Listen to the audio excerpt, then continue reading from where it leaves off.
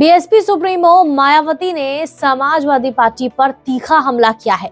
उन्होंने कहा है कि समाजवादी पार्टी दलित विरोधी है, जिससे उन्होंने अपनी जान का खतरा भी बताया है। मायावती ने इसे लेकर अपने सोशल मीडिया अकाउंट एक्स पर कई पोस्ट किए और कहा कि सपा अति पिछड़ों के साथ साथ ज़बरदस्त दलित विरोधी पार्टी भी है।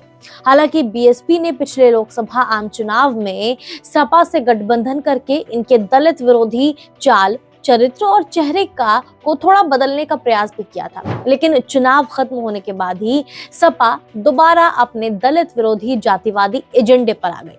इतना ही नहीं मायावती ने आगे कहा कि और अब सपा मुखिया जिससे भी गठबंधन की बात करते हैं, उनकी पहली शर्त बसपा से दूरी बनाए रखने की होती है जिसे मीडिया भी खूब प्रचारित करता है।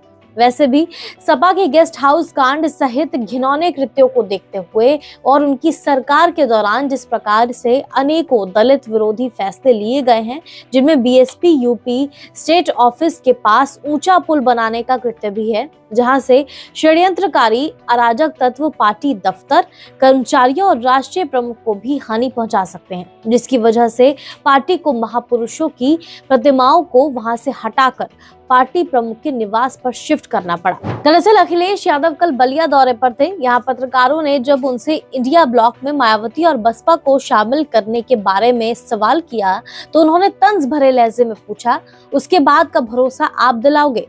बात भरोसे की है।